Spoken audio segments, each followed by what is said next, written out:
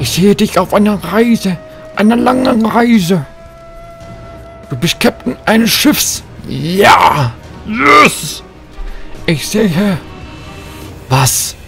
Was sehen Sie? Was willst du, Bursche? Ich will Pirat werden. Na gut, aber man wird nicht einfach Pirat, weil man da noch fragt.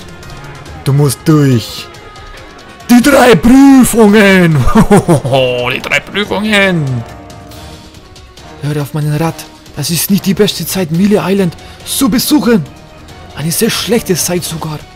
Ich rate dir dringend, einen anderen Urlaubsort aufzusuchen. Einen sicheren Ort.